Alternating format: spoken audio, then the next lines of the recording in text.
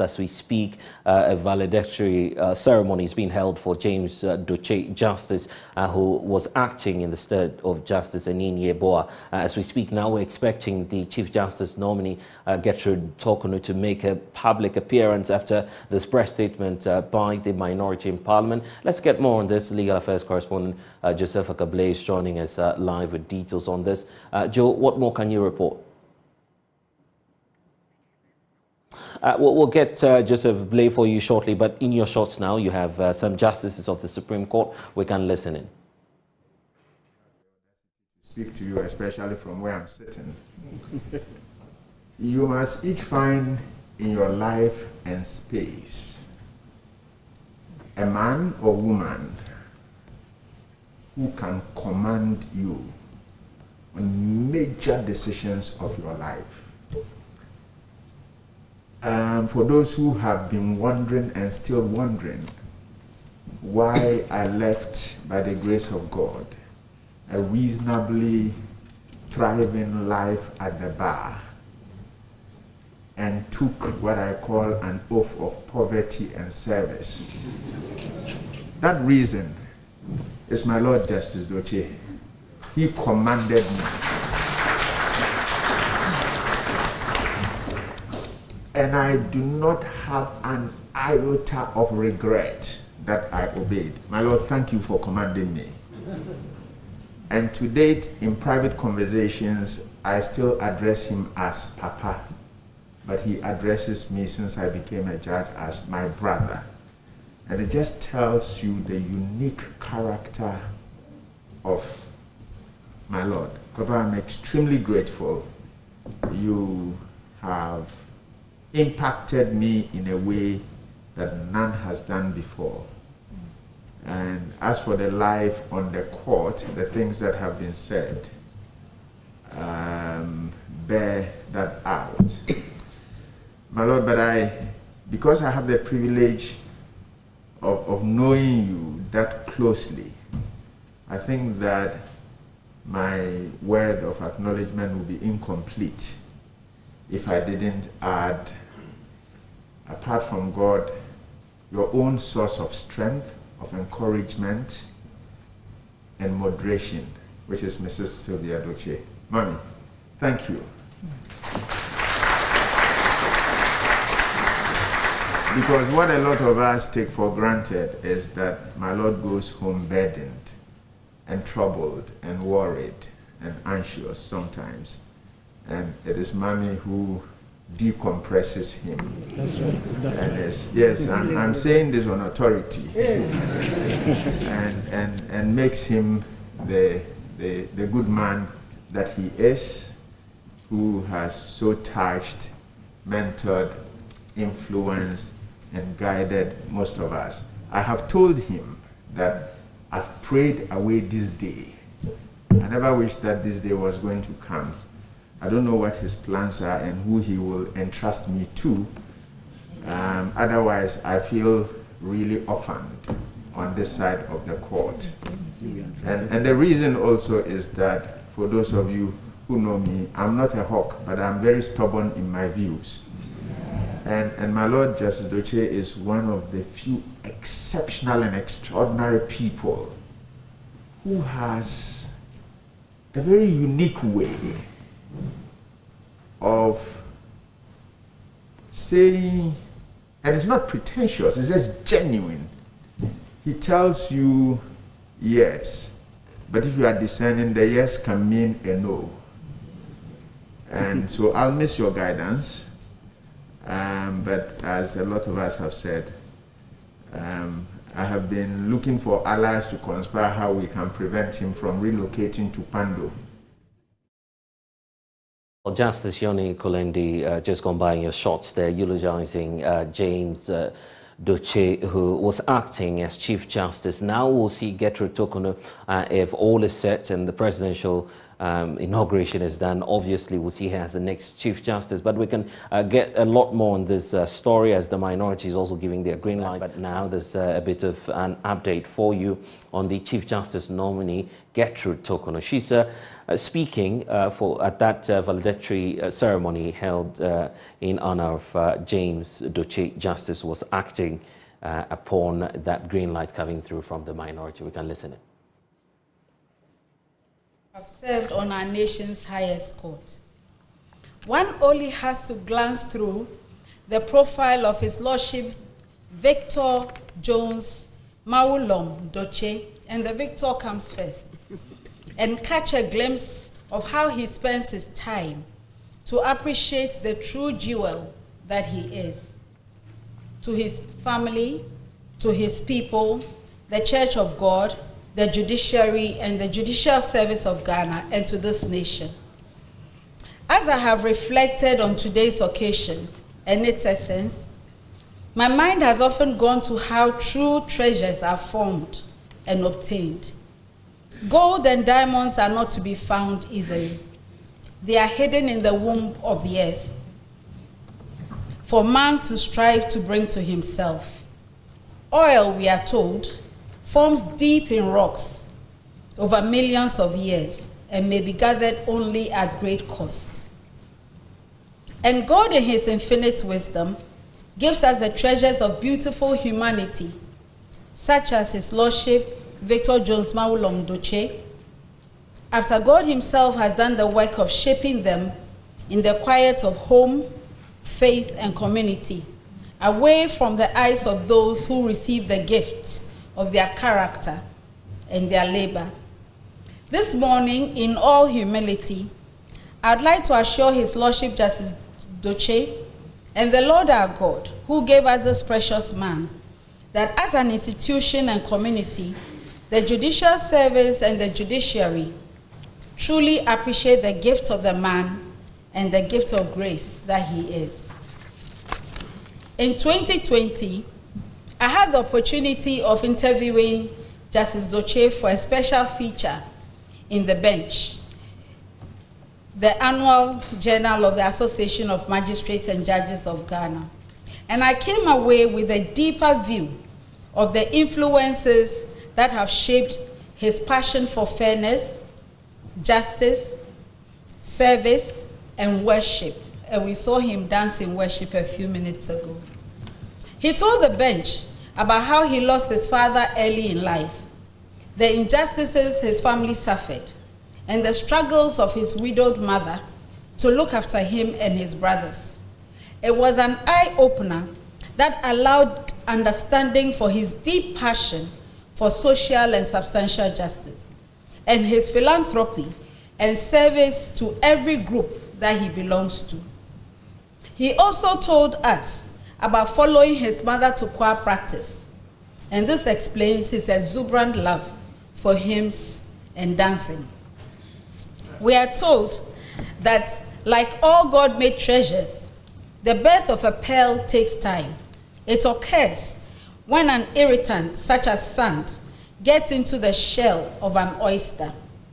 In response to the pain, the oyster produces a protective coating called nacre to fit between the two shells and protect it from the destructive influences of the irritant.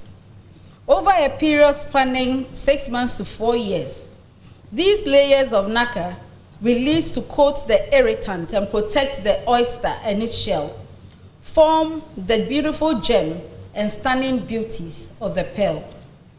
As beneficiaries of this process, human beings enjoy the adornment and grace of pearls not knowing how much it cost the oyster in quiet pain, strain, endeavor, and fighting effort to give us that treasure.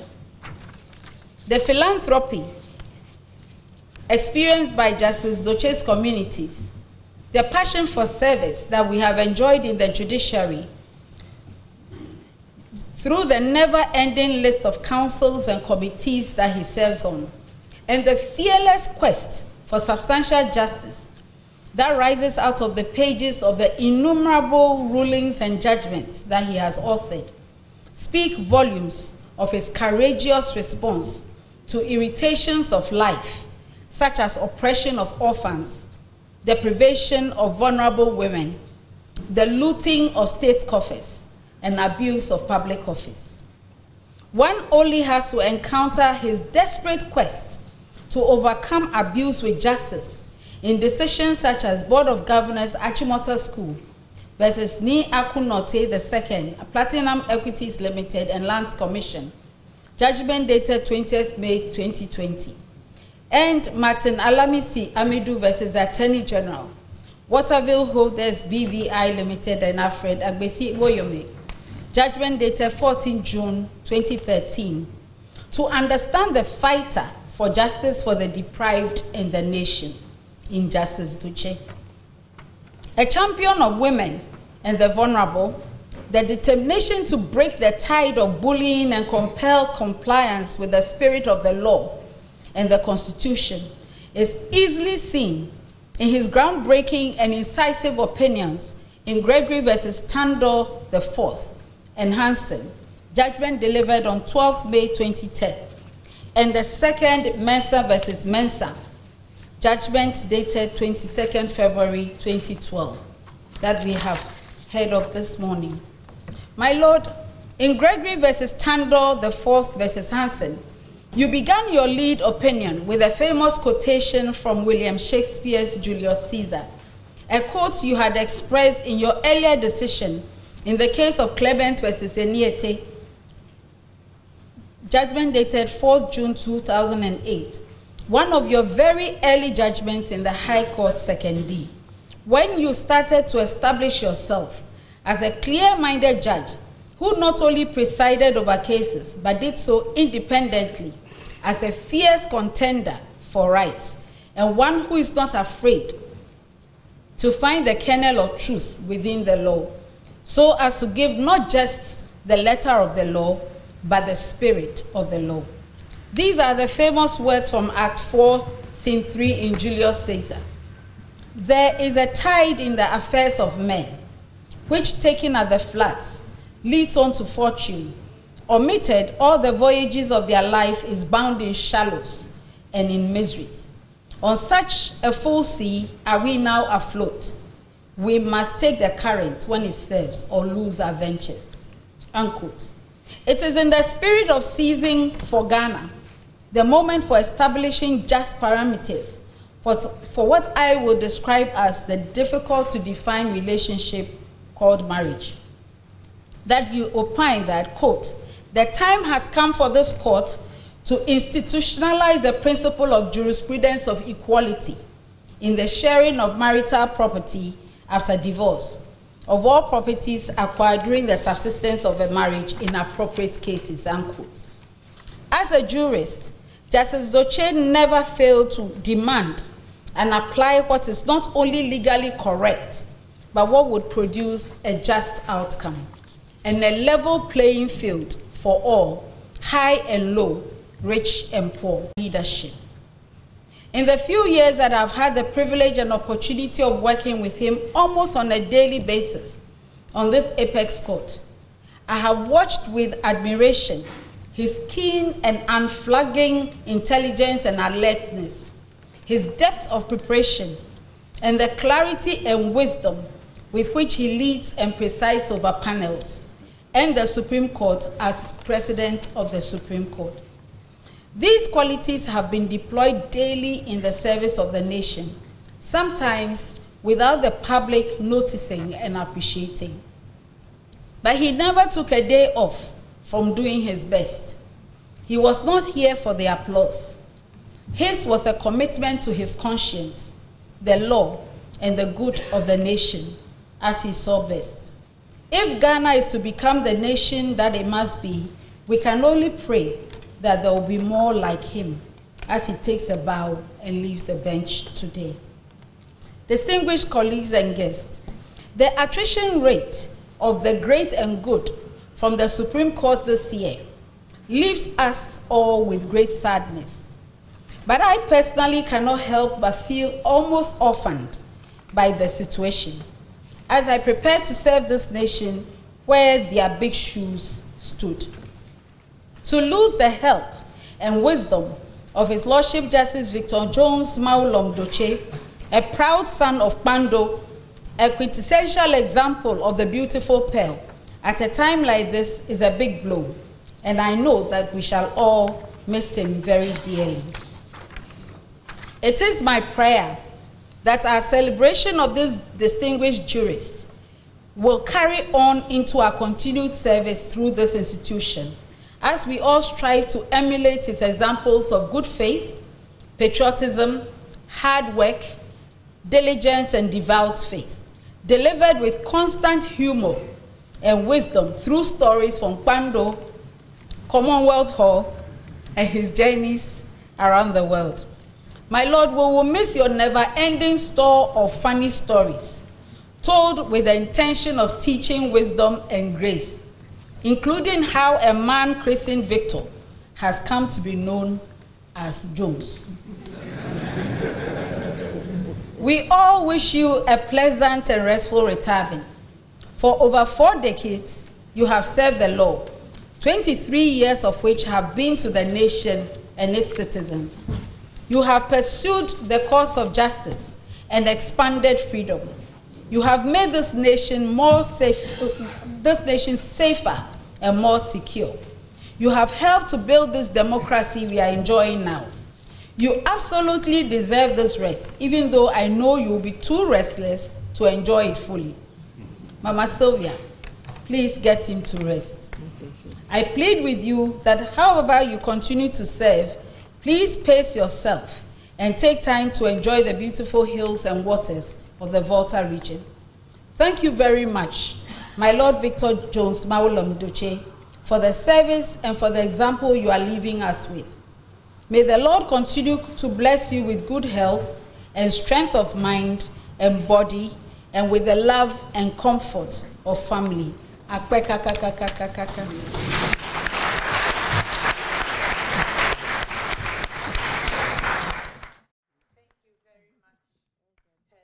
And obviously, uh, if you're married to an ever, you should pick up a few lines. Chief Justice uh, nominee Gertrude Torkornoo there, uh, indicating how uh, dearly she would miss uh, the acting Chief Justice uh, Jones uh, Dotse. But she's also been making uh, some points about the high attrition rate of fine brains leaving the bench this year and the fact that she will be feeling very big shoes. We'll wait to see what next the Parliament, in terms of their decision, will take on her nomination and what the next steps will be. You're still uh, watching uh, Joy News today. Let's uh, take you to some other stories because residents, motorists, and business owners along the Dawenya to Pumbaria area and the community on that stretch of Accra are raising concerns uh, about uh, the road which uh, they are calling on government to complete. they have been raising some concerns over the years about the stretch and the traffic situation in the community. Government in June 2022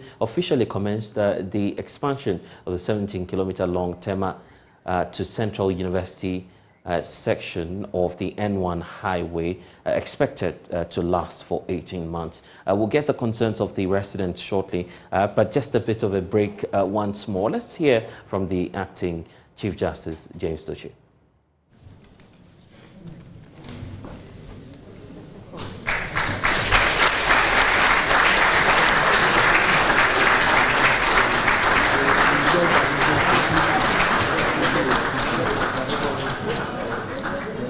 I promised my family I was not going to cry, so I will, I will soldier on. All the good things have been said, but today is a day of showing appreciation. First of all, I want to show appreciation to Almighty God for His grace and mercy that has sustained me through my life's journey from Pando, Amfueta, Ho, Sekondi and Accra until this day. In two days' time, I'll be 70 years old.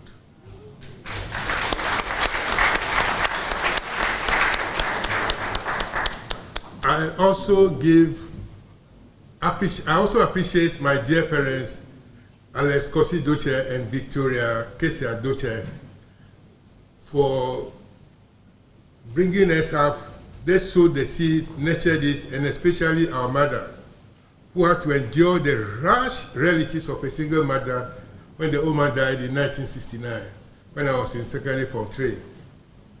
In those days, there, were, there was no intestate succession law. And I can say, I told the, C, the CJ designate has omitted certain parts of my interview. I will not go back to that interview. I also give and appreciate, I also appreciate His Excellency President Kufuor, who gave me the opportunity upon the recommendation of the Bar Council. The Bar Council The Bar Council nominated myself, Justice Anin Yeboah, the former Chief Justice, Justice Mafosao, Justice Francis Kobier, and others to the High Court bench. The Bar Council again indicated that Justice Anin and myself should go to the Court of Appeal straight away. Justice Wiredu said he was not going to allow anybody to come from the bench straight to Court of Appeal. But that if we distinguish ourselves within uh, at, the, on, the, on the bench, he will elevate us. And to the goodness of God, we were sworn into the High Court on the 18th of June 2002 and on the 23rd of September 2003, Justice Anin Yeboah and myself were elevated to the Court of Appeal. And on the 18th, on the 11th of June 2008, Justices Rose Constance Owusu, myself, Justice Anin Yeboah, and Justice Paul Baffoe-Bonnie were again elevated to the Supreme Court.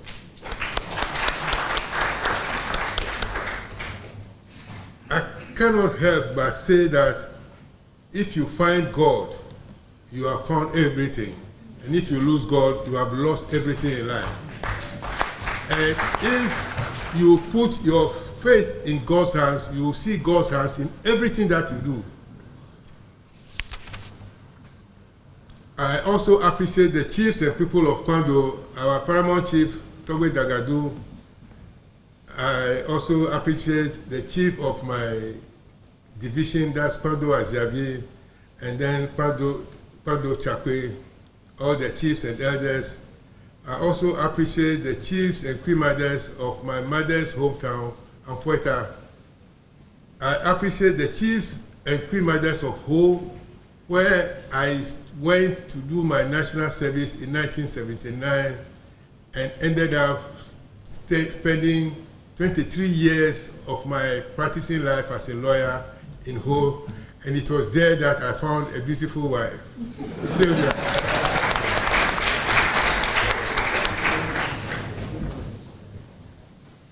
And I also recognize her family, the Ajima family from Abutia, for the support, and my sisters-in-law, some of them are here from Petue and my in-laws. I have, we have a very deep family connection in Kpando, such that one of our cousins, Mr. Frank Obed Mensah, he took, uh, he took charge of Mawena, my senior brother, about whom, if I want to speak, I can speak for the whole day because Mawena was the one who nurtured me and planned my career path for me. If I write my memoirs in the next one and a half years, I believe, I will point out the mess I would have found myself but for his uh, direction and advice. I also recognize my junior brother, whom we call, is called Seth, but we call him Seto. he's a retired banker. He's there right now, and his dear wife, my brother Mawena's wife, Sister Rosabel, is there. Sister Ivy, thank all of you very much. And I have a lot of children. Apart from my natural children, Mause, Seli, Selase, I have other children, a lot of them from the family. My, my house has been a house, a home for all my brother's children. Essie, Josephine, Delali, Joan, Maulawe, our house, our house help who stayed with us for close to 25 years.